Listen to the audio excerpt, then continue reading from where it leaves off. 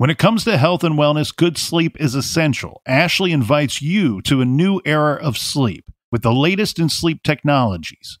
Experience all night cooling with the Tempur-Pedic Breeze collection, or rest easy with adaptive pressure relief on the all new Purple collection thanks to its Gel Flex grid. Don't lose sleep over choosing a new mattress.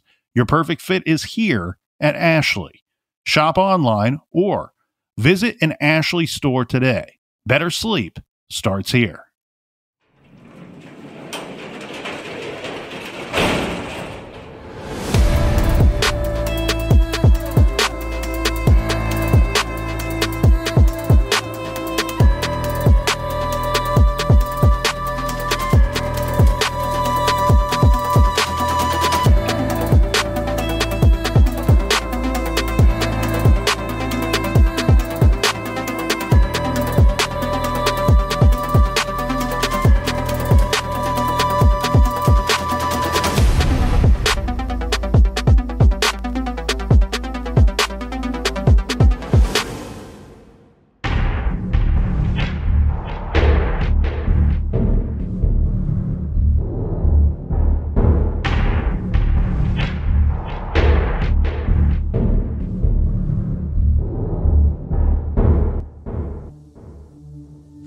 Hundreds of documents unsealed just this afternoon, revealing new details in the Delphi murders of Libby German and Abby Williams, and also the man charged with those February of 2017 murders. A team of 13 news journalists has been poring over the documents this afternoon. Rich Nye joins us from the newsroom with what we've learned. Rich? Richard Allen's attorneys want the search warrant of his house overturned and all the evidence collected there last October thrown out. The prosecution's response gives us several new details about what investigators believe happened to Libby German and Abby Williams. Investigators say that is Allen's voice, and he is the man in the video taken by Libby's phone who ordered the girls down the hill. And in that same video, investigators believe they hear the sound of a gun being cycled, and one of the girls mentioning a gun. Court records say the girls were then forced to the location where they were murdered. And for the first time, we learned that investigators believe a knife was used in the murders. Court records say articles of clothing from the girls were missing from the scene, including a pair of underwear and a sock. Clothes from both girls were found in the creek. A woman says she later saw the man in the bridge video walking down the road wearing a blue jacket and jeans. He was muddy and bloody and looked like he had been in a fight. Police searched Allen's home last October. They seized a handgun, which investigators believe Allen used in the crime, and matches an unspent bullet found next to the girls' bodies. About 10 hunting and utility knives were also confiscated, along with a blue Carhartt jacket and other clothes. Allen has admitted to police that he was at the Monon High Bridge the afternoon the girls were killed. He said he went out on the bridge to watch the fish.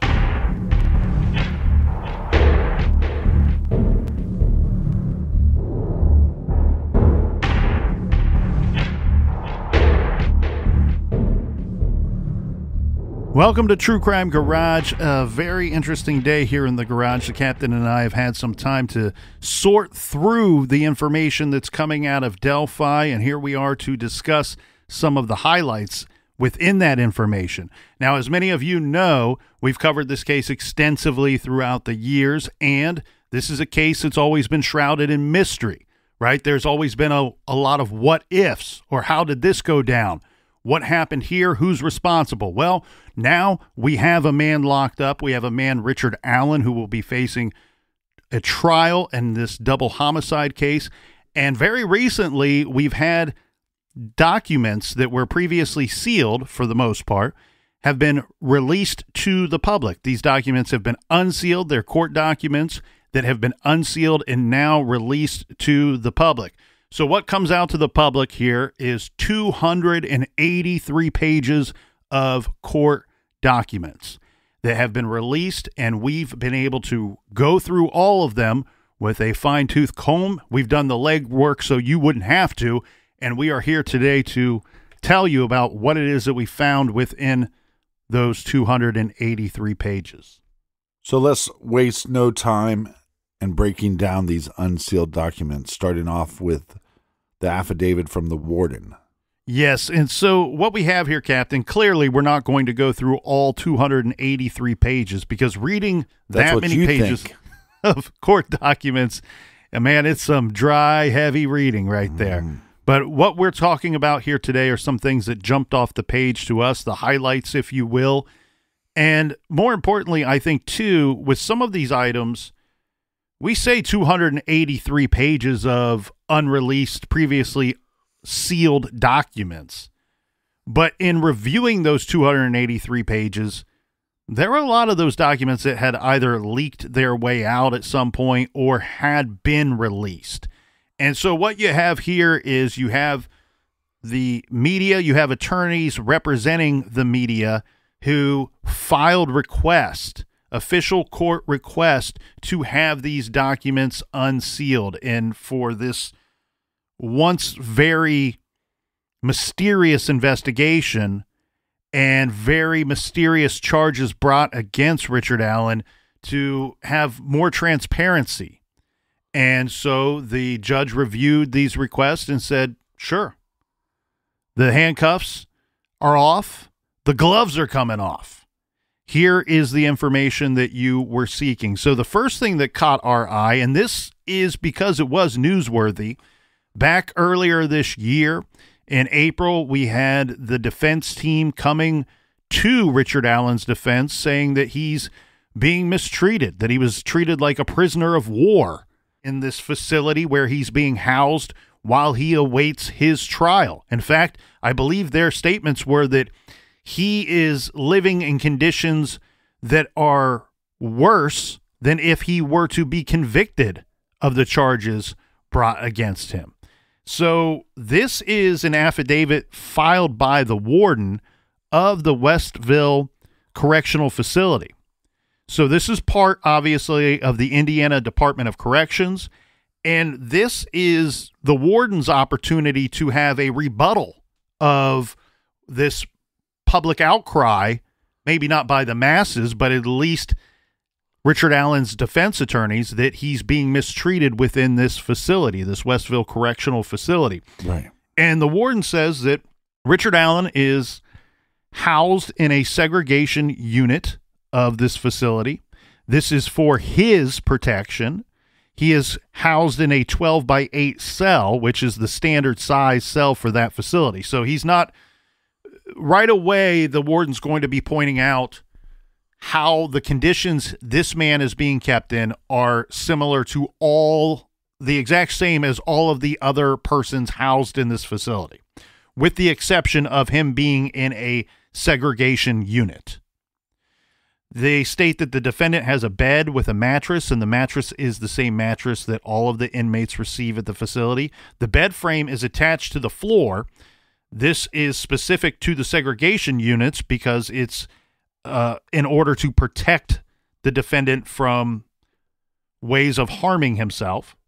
The defendant is in this type of cell for his protection because he has made suicidal statements and could attempt to harm himself.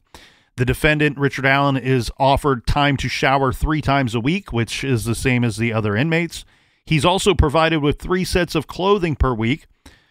He is afforded commissary privileges and has extra shirts and shoes in his cell, but he chooses not to wear them. Right. The defendant is not required to wear the same clothes or underwear for days and days on end that are soiled, stained, tattered, or torn. He can change those clothes. He may choose not to. The defendant has equal access to clean clothing, as do all of the inmates. The defendant was afforded the use of an electronic tablet where he can make calls, send text, and download music, which is an amenity that the other inmates do not have. So they're stating this is this is something that he has been given. It's a privilege as far as the warden's concerned. Simply put, the other inmates do not have this tablet that that Richard Allen has that he can make phone calls on, he can send text, and he can download music. Now, the warden goes on to say that at some point, Richard Allen broke this tablet. Yeah, so he had this privilege that nobody else had, but he broke it like a dumbass. So don't have that privilege anymore. The defendant has afforded the same recreation time as all of the other inmates, which is Monday, Wednesday, Friday, Saturday, and Sunday. And he has regularly seen medical personnel and, me- and mental health counselors. It states that the defendant is not afforded face to face visitation due to being in the segregation unit. Now, that's interesting because that last part of the statement goes along with what the defense attorneys were saying that there are difficulties in meeting with their client. One, the distance between where they're located and the facility where he's being housed. There's difficulties with the defendant speaking with and meeting with his family. Again, this is due to the distance between the two, but also the hoops that one has to jump through once you get to this facility because Allen is stored or being housed in a stored makes it sound like he's a he's a product in the back of of a stock room somewhere uh, that he's being housed in a segregation unit. Yeah, and I know there's rumors that are saying that guards and, and other prisoners are, are telling Richard to to kill himself. But let's let's not forget what he's what he is accused of doing. He's accused of killing a 13 and 14 year old. So I, I, really don't have any.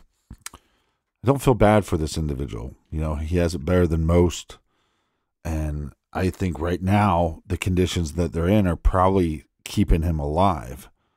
And I think once he has to go face more of a the general population in prison, it's not going to go so well for Richard M. Allen. That's a difficult thing for us to sit here and talk about on mic because we do recognize that he is innocent until proven guilty in the court of law, which has not happened yet. And unfortunately, there have been. I'm not. I'm not going to sit here and raise a great defense for Richard Allen. There are 12 people that will be selected by the courts that will be given more information than we have that will determine if he is guilty of these crimes or not. Yeah, if we that's get that that's far. not my job, but but the difficult thing becomes we do know there have been innocent people that have been in the same situation as Richard Allen. Some of them found guilty, some of them f- found not guilty.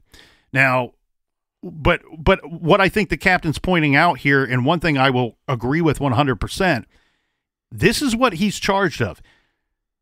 Guards verbally harassing him, that's not right. Yeah, we get nobody saying that that's right. Nobody's saying good job, guards. The other inmates harassing him, if in fact this is all going down, right? If this, let's be clear Right. about that. If this is actually happening, nobody's saying here at True Crime Garage, good job, guards, good job, inmates. But what we are saying is this is not out of the norm. Typically, somebody charged with these kinds of crimes, it's not unheard of that they're being verbally harassed by the guards or other inmates. That's what happens in prison. That's what happens in these types of facilities, especially when we're talking about inmate to inmate. That's why jail and prison are such an undesirable place to be. So the defense is claiming that their client is not being treated fairly, and now they're also saying we have not received all the information, all the investigative information from the state. Yeah, and th- again, we we have really put a magnifying glass on this case and everything that's going on in and around the courts with this case. So what I think we have here, Captain, is a lot of people becoming aware of things that are very common in these types of cases, and people kind of wondering, is this common? One and two, is there something else going on here? Well, in this case, this this I would expect. Okay, let's let's pretend for a minute I had to hire counsel to defend me against any kind of charges. I would expect good counsel, good defense attorneys to file this motion. We've not we've not received all of the discovery. We've not received all of the state's case against our client. You do that for it look, you're you're creating a long list of checks and balances because in this type of case where he, he could end up being charged and if convicted sentenced to death Right. you are creating a long paper trail for your client of things that might be appealed later. So you file this motion that way if you could later prove that the state did not provide you with all of the information, then you have grounds for an appeal. You could even have grounds for a mistrial. So this is the state's rebuttal to those claims of, well, we've not received all the information. Now, I, I should be clear here too, because my understanding of this captain is the the state has come forward and said we're still working on some of our case. So there may be things you've not received, but it's we've not built that part of our case against your client yet. Here they are going line by line and explaining why we've not sent this to the defense. And I'm going to give you the short of it because it's I don't know. It's extensive. It's extensive. There's at least 28 statements that they give in this. There's probably more because uh, I I went through and highlighted the ones that I thought to be the most important, and my list stops at 28. Again, this was a review of 283 pages of documents. They all didn't make it onto the show. But the short of it is the state is saying this is information that we've not sent to you because of several reasons. And these all fall within the rule book here. One, this is information that's readily available to you. So it's not our job to provide it to you. We don't have to do the legwork for you. You can go and get this information yourself. No one's preventing you from having this information. We don't work for the defense. You can go get this information. The the other response is that some of this information is too cumbersome for the state to provide to the defense. Meaning like they're requesting any and all tips any and all communication regarding this case from the general public to the law enforcement agencies that were investigating the case. Well, and we know, yeah, and we know because of Carter. I mean, there's been thousands upon thousands of interactions from the public to law enforcement. Didn't we report one time that there were like over 47,000 tips that came in throughout yeah. the course of this event? Like, so. And that was years ago. Right. And we know that Carroll County and the Indiana State Police, Indiana State Police is a big agency, lots of resources, lots of people power. And they decided together that, you know what, we need the FBI to work the tip line, to take ownership of the tip line for us because there's so many tips coming in. And that was rel- relatively early on in this investigation. I want to say it was like 20 days in. And as you said, Captain, as you backed me up there, it was like 40 some thousand tips. And that was years ago. Ye- at least two years before Richard Allen was arrested. So they're simply saying, we cannot provide you with all that information because it would bog us down with too much work. And oh, by the way, we do not intend to use all of that communication from the general public to law enforcement against your client. Meaning that it a lot of that information that they're requesting is not relevant. Now there are ways for the defense to still obtain that information and it, it, we'll, we'll see how this thing shakes out because i know that a new trial date has been set for richard allen for the actual murder charges. Right there's going to be other court proceedings before them. Those have not been given dates yet, but trust me. Do you know the date of the new trial? I believe it was scheduled for January of 2024. And the reason why I've, I've not noted that date here in my notes is that to me, that date does not seem so significant because with these other court proceedings that will, it's not a if, that will take place, I would bet that this thing gets pushed back even further. Right. Probably summer of 2024. And Unless, without without you and I getting too far into the weeds here, we also have some speculation that this thing may it, it may drag on for a while with different court proceedings, but we may never actually see a trial. Right. Moving along, let's go over the cause documents. Yes, and this is pretty straightforward. It's really a description of the the charge, which is mel- uh, murder, a felony, two felony counts of murder, and it's the bail that was set for Richard Allen. Now, this could be something that was known to the general public. This is something I've never seen in writing before, and I don't recall it here hitting the old colonel's earballs either. So uh, this seemed interesting to me. The bail was set at twenty million dollars, cash or corporate security, I believe is what that scribbled word is there. So twenty million dollars was the bail set for Richard Allen. The next item here, Captain, is a judgment of the court. So this is pretty straightforward here.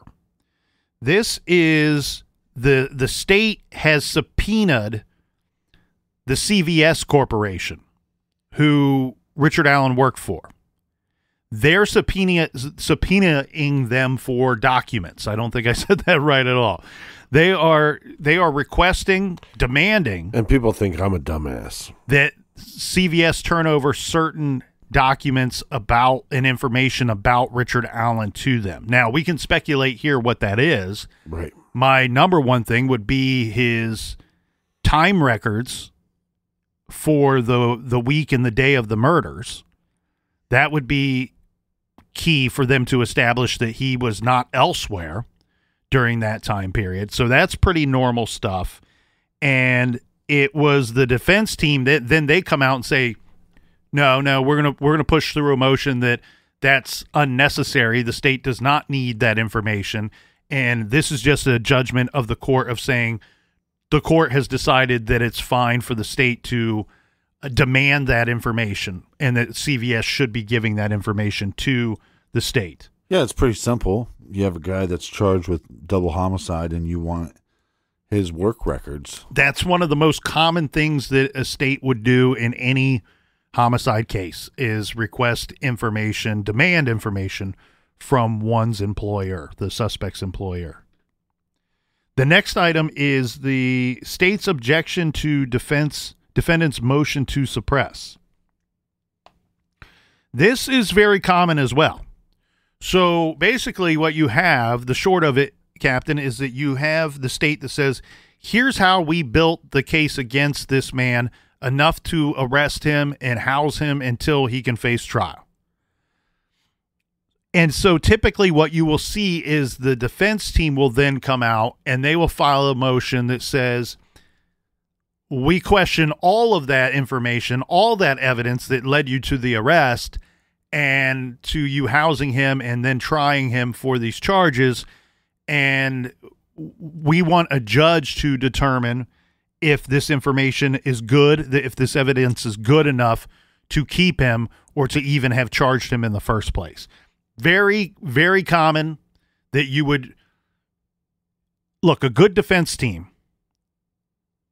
So if any of our wonderful listeners out there ever find themselves on the hot seat for something that they are completely innocent of, and you hire a defense attorney, if you are wealthy enough that you can hire a team, um, in this situation, I believe that the state is paying for both of these attorneys. uh, So he does have some kind of team here.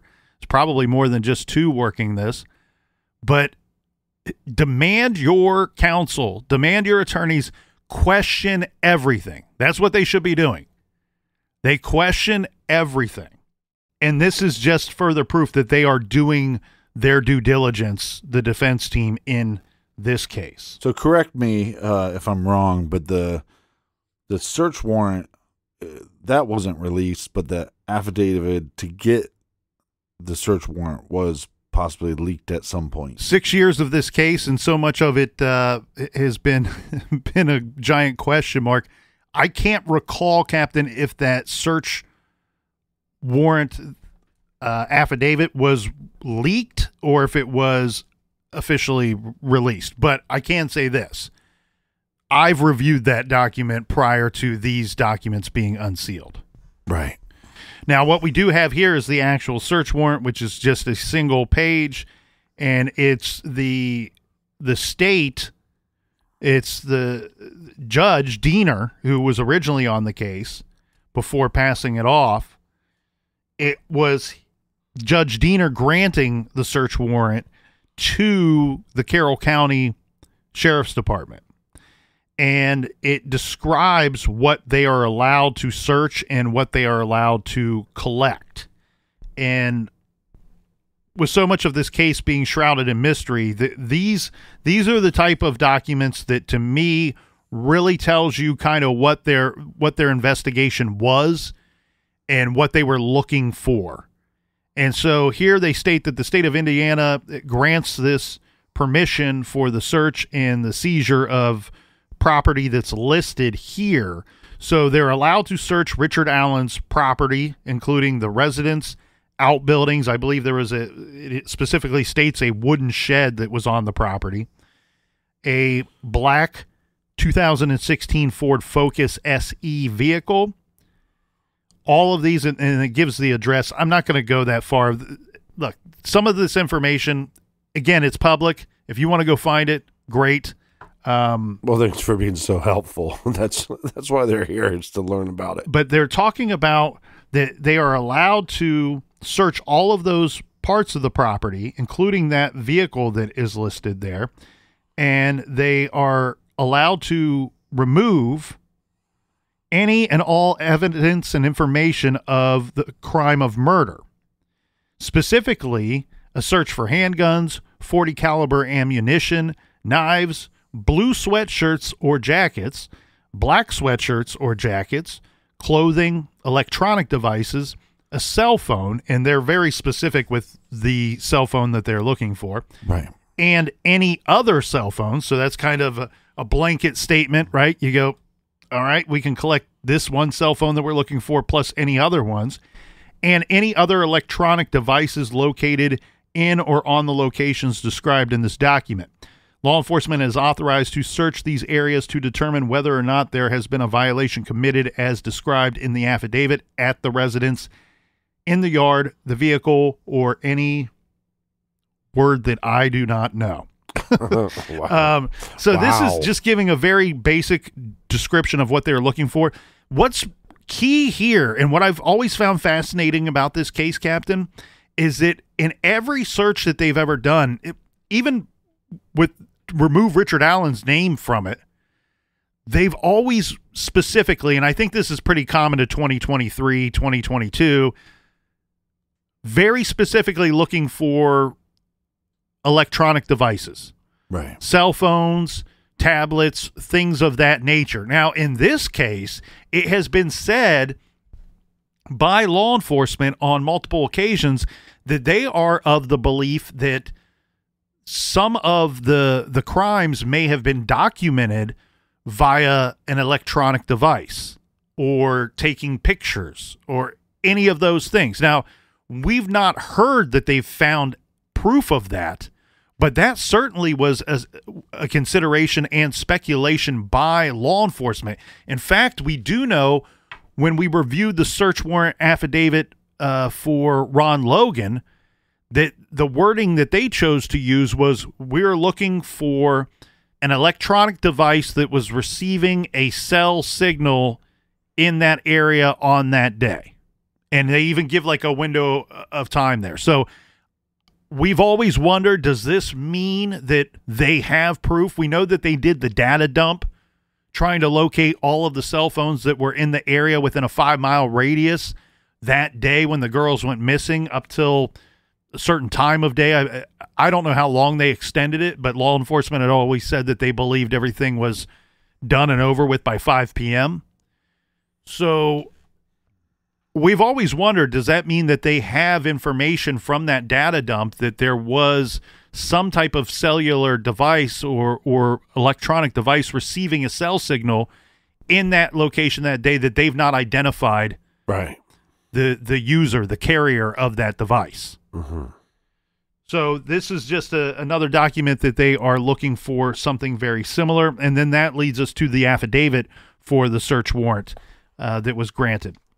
This goes through a lot of the same stuff that we've talked about in the past, and so I'll summarize a lot of that. This is the law enforcement laying out their case for the judge, saying, "We need a search warrant, and here's the evidence why." And they go through a description of the crime We've talked about that they believe they're looking for a gun because they one of the girls says gun to the other girl in the 43 second video that was the, the recording that was on Libby's phone. And so that's why gun is listed and we we would later learn in other documents it it doesn't go into specifics and I don't think that's needed but it does state that their their deaths were ruled a homicide due to wounds or injuries from a sharp object. Well, So- and also they were looking for a gun because they had a shell casing that they're going to try to match up as well.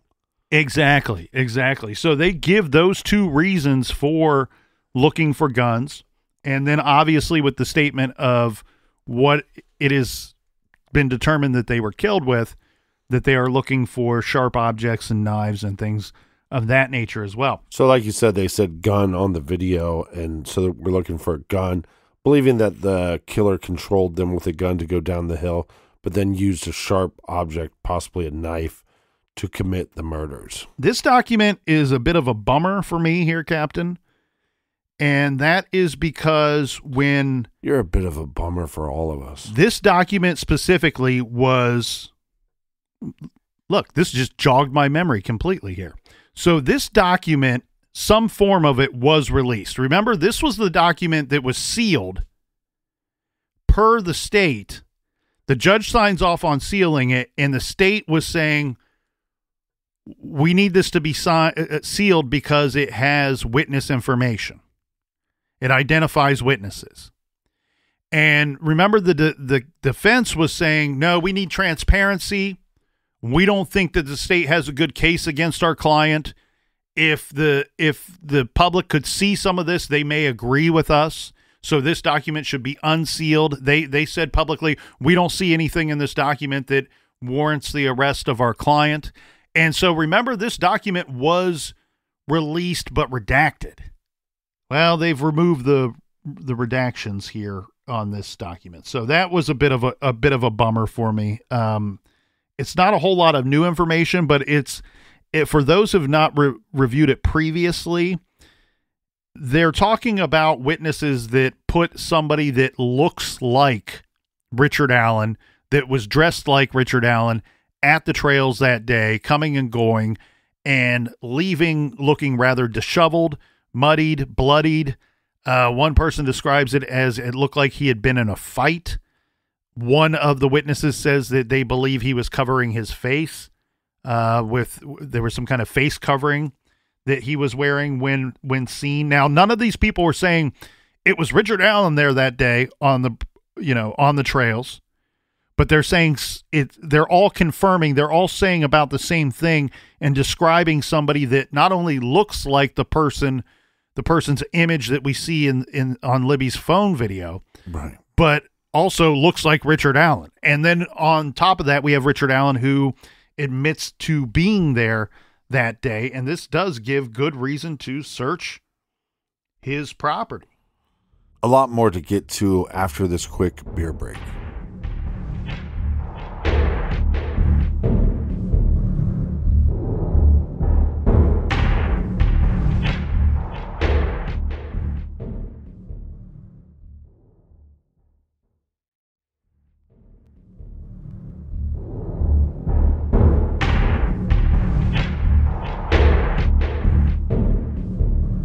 All right, we are back. Cheers, mates. Cheers to you, Colonel.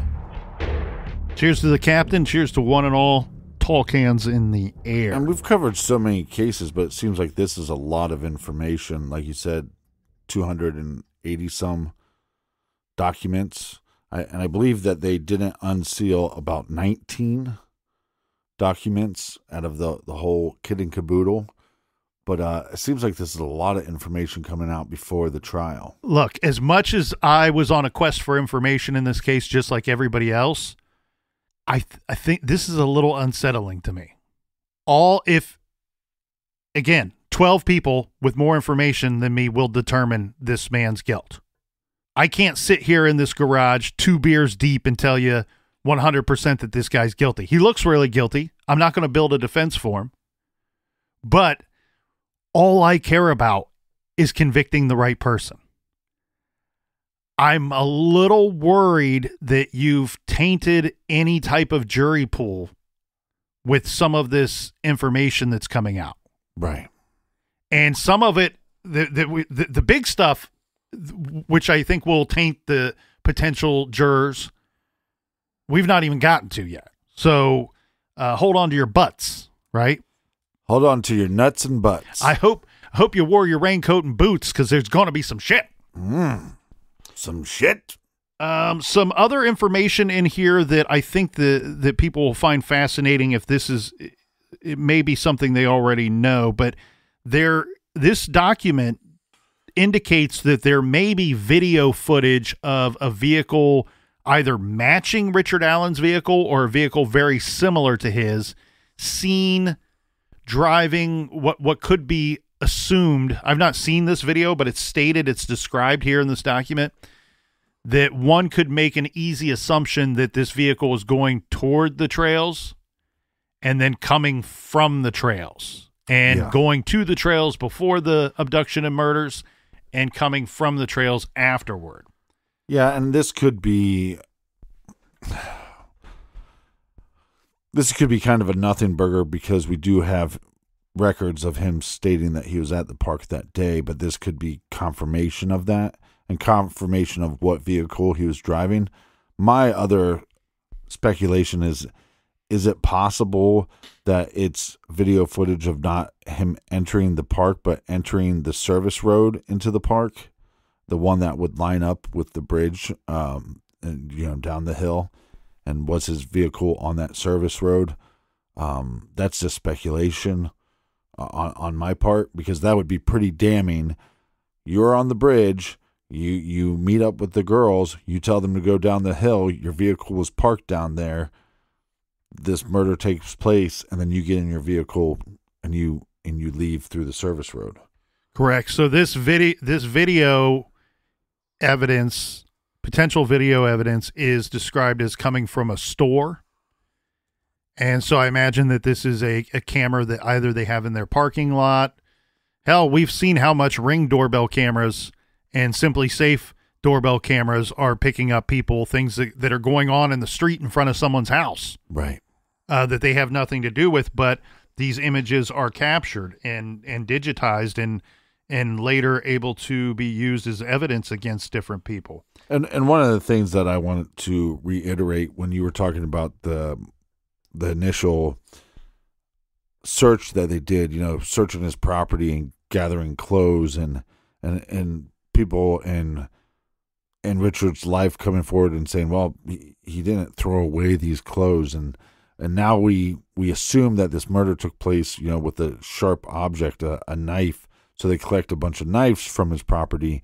But what they did with the car uh, is they did a bunch of luminol test, and wherever luminol hit in that vehicle, they cut up the carpet from the wheel wells. They they cut up pieces of the seat belt, um, pieces of the seat. So you would you would assume too maybe those haven't been tested completely. Again, another argument by the defense team of hey, do we get the do we get those tests back yet? Because all that information as the defense team, the bigger of a, of a pile of evidence against your client, you might just decide to defend your client differently based off the information that the state is providing you. Right. And so if if those items if and when well, I shouldn't say if or when. They 100% they're going to t- test them. If they if they don't test them, I mean, come on, what are you guys doing? Um those items have been or will be tested. That information should if if everybody's doing their jobs and playing with inside the rules, that those results will be provided to the defense. That's all part of discovery. Right. Um, so yes, that's that's all part of it. The the thing that I find, uh, well, in fact, you know what? Let's stay on topic here because the next item that we wanted to cover was the property record and receipt. This is a document that is going to take inventory of all of the items that were collected from Richard Allen's home Right. from his property, from his vehicle. And you're right, Captain. They they they did do those things with with the vehicle, and I I don't want to go through this line by line because it's it's four pages, but just to give everybody a little bit of a taste here. So of course they they take into their possession a gun, the the Sig Sauer P two two six handgun. They took into possession two magazines, one filled with nine 40 caliber cartridges and one with eight 40 caliber car- cartridges. Right. It looks to me that the gun, the Sig Sauer P226, that they believe was at the crime scene, at the murder scene, that when they confiscated that gun, that it had a cartridge with the gun that had a, a single 40 caliber Smith and Wesson bullet in the, that cartridge. The uh, they they also took like the case and a whole bunch of uh, cellular devices. So it looks to me like the the Allens are probably like a lot of other people where you you go through phones, you're done with a phone, and they end up in a junk drawer somewhere, usually with a bunch of old chargers and things of that nature. So there's a whole bunch of car chargers, outlet chargers, and old flip phones and old phones that appear to have been confiscated as well. Now, we do know that the, the handgun, as far as lab exam goes, they checked that box. That's stated on this document. Uh, a cartridge that was, they found a 40 caliber cartridge found in a wooden keepsake box on a dresser between both closets in the master bedroom. I don't know why this bullet is in a different location than the other ones, but that's the bullet that they chose to to test. So they would have fired that gun. They would have checked that gun to see if it if, if it malfunctions or there's any malfunctioning with that gun, confirm that there's no malfunctions, and then they would test that bullet. So they they wouldn't fire it in this situation. Typically we're we're firing it for the ballistics test, but here we're simply racking it through the gun and then testing Yeah, it's simpler. and doing a lab exam on those marks in comparison to the live round found at the murder scene. Right. And we talk so much about electronic devices. Well, here they they took at least one flash drive. Um, I think later in this document they reference another, but they don't list them together because the other one's listed as a zip drive. They confiscated a whole lot of sweatshirts. A whole lot of sweatshirt. Every sweatshirt this guy had, it appears, is on this list. For obvious reasons, they're trying to find the what appears to be the hoodie or jacket uh, worn by Bridge Guy that day. So a lot of jackets, a lot of hoodies. They took a lot of. He's got a lot of of sharp items, a lot of knives. Yeah, I would be surprised if they find any evidence on a, a sweater. But look, I mean, uh, criminals have been dumb for years. Uh, Yeah. But I think it would be an easy item for him to discard, uh, especially the property that he had. I mean, he, he had a little bit of land. He could have easily had a little bonfire and got rid of uh, some evidence. I loved. We talked about that when his defense team came out and said, "Look, his gun, his car, his clothing, all the things that he had that day when he was out walking the trails, minding his own business, uh, he still has to this day. That's proof that he's innocent." Well, it's it certainly raises a bit of an argument of innocence. However, it's very easy to quash that argument and just go, "He might just be a dumbass." He might he might have just not discarded of these items because he's lazy or he's dumb or maybe there's something more sinister and some kind of souvenir to him. Yeah, and the thing is, you know, he Richard M. Allen is innocent till proven guilty, but the jury's out on on what he looks like. He he looks like a dumbass. I mean, if I saw him, I go, "That's that's a dumbass." Unfortunately, I've had the same said about me. Now, the, a lot of sharp o- objects, a lot of knives, a lot of bladed weapons found, some of them decorative in nature, some of them folding knives, some of them large. So a lot of that's been confiscated from his home. You have to wonder here, Captain. You can clean those knives, but we've seen this in dozens of homicide cases involving a, a knife.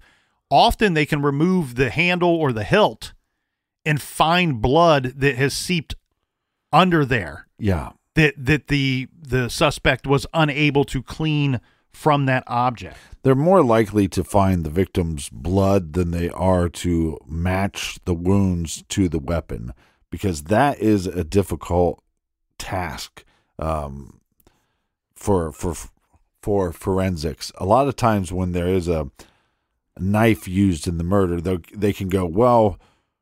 We can rule out that these ten knives weren't used, but these other five knives that he have could have been used. Correct, because a lot of times that is a little bit open to interpretation. Yes. And so often you, what you will hear in the courts or even on Dateline or what have you, where the expert is saying the wounds suffered by the victim are similar to what I would expect to see from someone if they chose to use this knife as the murder weapon. Yeah, and think about that. We're trying to, without a shadow of a doubt, can can. I was like, make noise. What we're trying to do is, without a shadow of a doubt, prove that this guy committed these crimes or did not prove these crimes. So when you do the ballistics with the gun, that's going to be difficult with the casing because it doesn't have every single marking on that. Anybody that wants to dive more into these ballistic tests and how they go down, uh, our buddy Fig Solves on YouTube uh, just interviewed a FBI agent that does these ballistic tests, and they go into depth on how this test would, um, how these tests are oper- how they operate these tests, but also what is the Well, in this case, and that that's actually one of our documents that we have for review here is they they they straight out state this is not so much a scientific test. This is a microscopic comparison. right? We we we took the two, the one found at the murder scene and one that we racked through his gun, same caliber, same bullet, racked through this Sig Sauer P226 handgun, and we compared them under a microscopic lens. And our expert, our state's expert, has stated it is of their opinion that this gun made those markings on the bullet that was found at the crime scene. So what will happen again, I don't think it's an if, it's a it will happen. The defense team will then find a air quotes expert to say I compared them as well and it is of my opinion that this gun did not. And maybe you might and, and look, if you get a really honest one, maybe you get an expert that says we can't rule out this gun, but um, there's you could get an expert that says there's 21,000 other guns out there that could have made this these same marks. There's there's the same, you know, let's I don't know how many of those guns were produced, that type of make and model were produced, but I would think that that somebody could come forward and say it, you could put this in any Sig Sauer P226 handgun and rack it through and it would make similar if not almost identical marks. So that that's something I don't know have enough knowledge of, but I'm letting you all know don't be so surprised when that happens. Well, and this is how they have to create a case against somebody. If you don't have the definitive evidence, again, the matching the stab wounds to a knife is not definitive. The the ballistic test is not definitive. Some of these other tests that they're going to run are not definitive. Eyewitness statements might not be definitive, but you- Certainly not. you keep having a you keep building that pile and, and what and what I think will happen is the more they build that pile and the more that the defense doesn't know how to defend their client hopefully we see a, a- a deal made and and a deal that law enforcement works with the family members and and the su- surviving victims of this tragic crime. Most murder convictions are built and come off of the backs of cases that are built on a mountain of circle, circumstantial evidence. So it wouldn't be crazy for that to be the situation in, here as well. But like you talked about with the knives, it could come down to someone's expert opinion. But more than likely, if you confiscated all these and this guy and his team are all happy about, well, he didn't discard any of these things, it, I would be surprised if this dude wasn't so dumb that he didn't just just I mean, you're right by the water when you killed him. You could have just chucked that knife in the water somewhere and hope that the current takes it. Mm-hmm. Or or hope that they don't find it off of their first search or second search or third search and it becomes lost or buried or gone forever. Or he takes it home and failed to remove the hilt or the handle and there is if you find the victim's blood on on an item in his possession right. get out the hangman because that case his goose is cooked. Yeah we're looking for blood and mud in this case. They collected as said a lot of different electronic devices even chargers and things of that nature and before we get to the vehicle stuff uh, note they confiscated an a white nfl colts skull cap. So if you were looking for a reason to jump off of that team and find a new one, um, maybe maybe that's the straw that broke the camel's back. all right Although I do like that quarterback that they got coming in. Watch out for him. He's going to be a electric. Um, so for the car stuff, Captain. So they they as you were talking about, they confiscated. Uh, they they made a a sealed envelope containing a cutting of carpeted area underneath the spare tire of the Ford Focus. And they also collected two plastic wrappers containing one swab from a driver lap belt and one swab from the driver shoulder belt of the Ford Focus. And then they took two swabs from the passenger side carpeting floorboard area. So what they're doing here, as the captain pointed out, they didn't really cut apart any of the seat belts or anything. They just swabbed them. Um, and so they're looking for DNA. That would be his DNA, uh, anybody that's been in his vehicle's DNA, as well as potential blood evidence. And of those three items, the only one that is stated that, that they did a lab exam was the carpet that was cut. And they cut that from under the spare tire. This actually tells me I have a different interpretation as to why they would have done this uh, than than what you stated previously here, Captain well you're wrong is that I- I'm guessing this is strictly for fiber evidence. I wouldn't expect to, if I'm the investigator and I'm searching this vehicle, underneath the spare tire would be a place that I would I would think would be less likely to have victim blood or victim DNA in that location as compared to other locations in that in that vehicle. So I think this might just be simply for a fiber analysis. And again, that was the only sample that is noted here that was actually tested from items taken from the vehicle.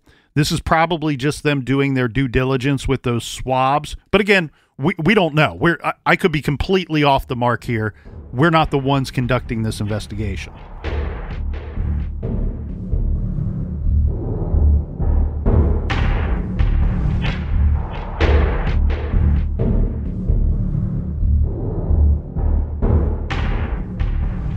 For everything true crime, check out truecrimegarage.com. Thank you so much for joining us here in the garage each and every week. Join us back here tomorrow, same bat time, same bat channel, for the conclusion of the unsealed documents in the Delphi murders case investigation. And until then, be good, be kind, and don't litter.